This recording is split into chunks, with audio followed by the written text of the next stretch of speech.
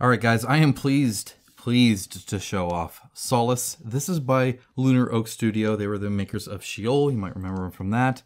And they have come out with what looks to be a super cool card game. This is, it says right here, we have opened uh, or we have obtained immortality and eternal youth. That was the beginning of the end. Now, this is a, obviously prototype stuff, so it's just a, you know, a little wrap around here. You can kind of see some of the art here and what they have there. Nothing on the back.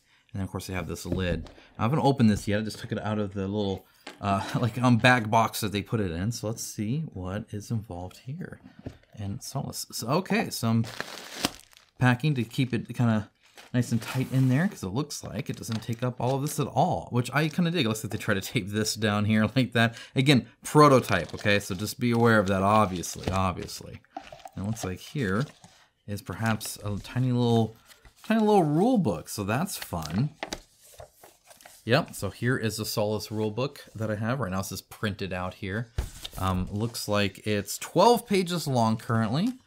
So that's kind of cool, but you can kind of see where it is right now. I have all sorts of prototypes when it comes to rule books, stuff like that. So uh, yeah, at least that one looks like it's all in English. and we do have this here, and I think this is like the uh, like campaign that you actually even play here. So like you have this out here and you can actually yes this is uh, mission one is all this is for the story. It looks like mission one comes from uh, 10 to uh, 16, 17. Uh, is that a seven? That's a weird seven if that's the case.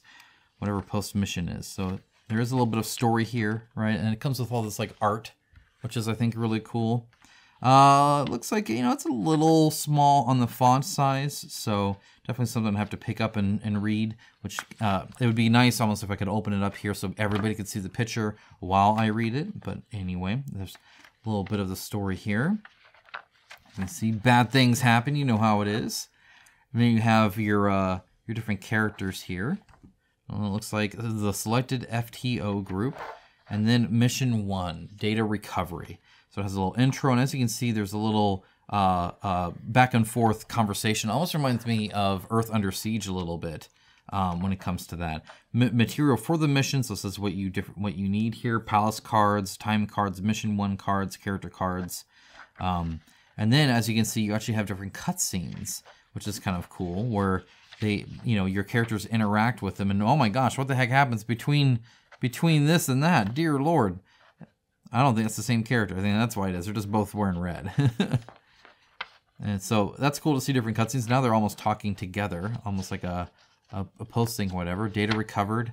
And then again, now more conversations back and forth as people talk. It's kind of like a visual novel a little bit. Here's the post mission and kind of what they say there. And it should lead to the mission complete and then the next mission. That's kind of cool. I dig it. I like it. I, I, again, as a fan of JRPGs, as a fan of uh, some visual novels I've played in the past on Steam and stuff like that, that looks pretty darn cool. I dig it. I like it.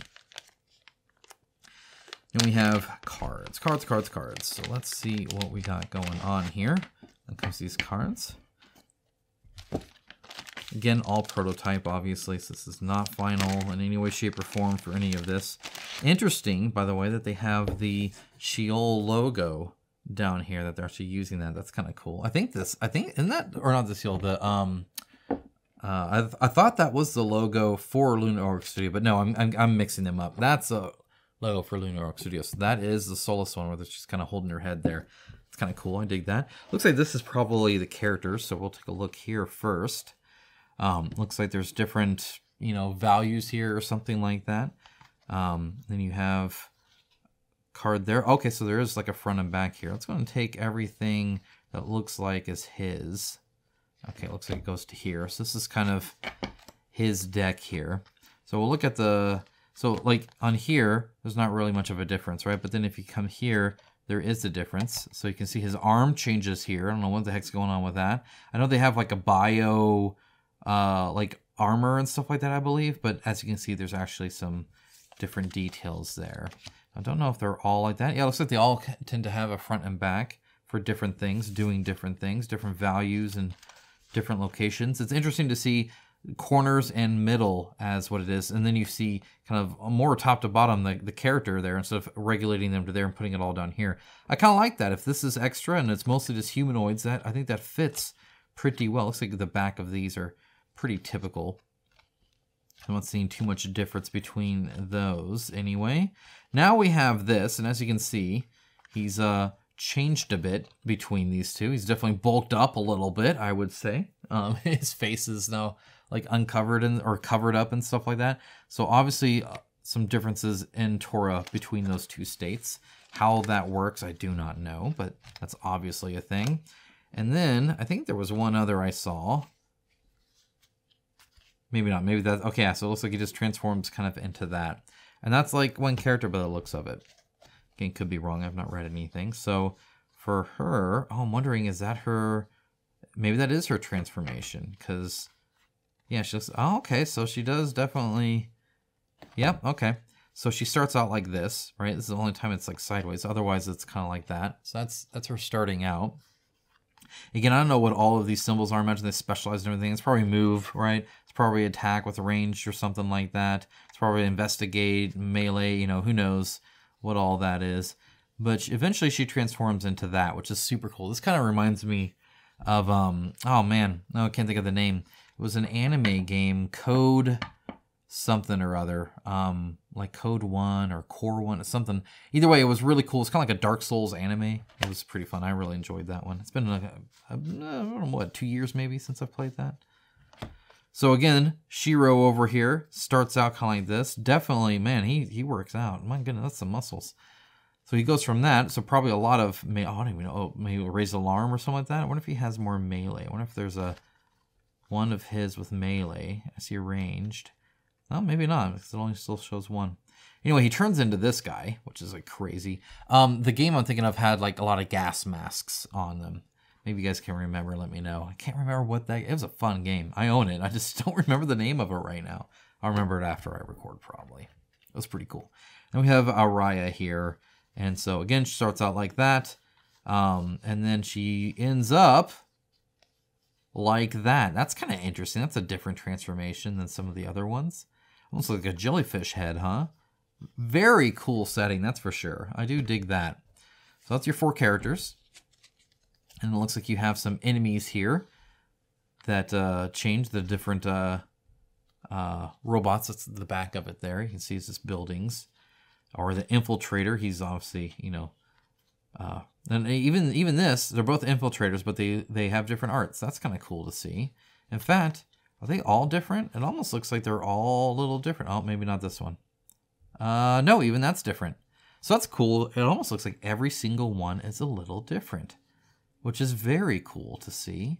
So got the same background, regular soldier, and yeah, all the soldiers are different. They give them different faces even. Very cool.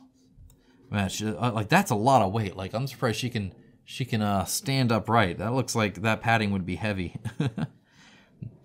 uh, different turrets and stuff like that. So very much like a, a um, you know sci-fi kind of thing. We got laser traps here. It looks like again they do like electrical damage and raise the alarm and stuff like that. Perhaps. In fact, there's an alarm room. Then we have receptionist. Now this has a green top, where the other ones didn't. So I don't know if these are NPCs or what or how that works. I'm not sure. Patient, civilians very cool to see all these different characters. Wow, there's a lot. There's a lot. Now we've gone from, again, like this kind of bluish to this like orangish now for these armored units. Probably even harder enemies. They look harder. This is like a, a, a you know, Metal Gear Rex over here. the, or Mobile Suit Gundam or something. Yeah, look at this guy. My goodness. I don't think they add enough guns to him. Uh, he could use a few more. Okay, and then all of that, again, Oh, this has like now timed one, so I did miss that. Did the civilians have anything different? Uh, no, I did not. Just, but those other guys do. I don't know if they're bosses or elite guys or what. We have silent, uh, some data, and then different cutscenes. That looks like it reveals a few different things there. So that's kind of cool. I dig it. All right, guys. I mean, that's literally it. A real quick one here. Um, I, one of the things I mentioned about this was the fact that I like a game that looks like it's fun, even has a campaign and stuff, and yet isn't a bajillion things. All this fit in a box that could have even been smaller than this. Uh, this is obviously just mission one. Obviously, there'd be a lot more in the final thing, but super stoked to try this out. So I'm going to read the 12 pages of rule book. I'll be getting some time with this and I'll let you know what I think. So stay tuned for that. Subscribe if you have not. Guys, have a great rest of your day. Take care. Bye, guys.